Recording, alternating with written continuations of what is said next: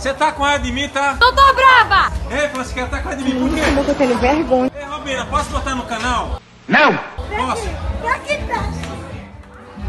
Mande pelo menos um abraço pro Chapola. Eu não. Tchau, Chapola! É, rapaziada, tá cai dentro.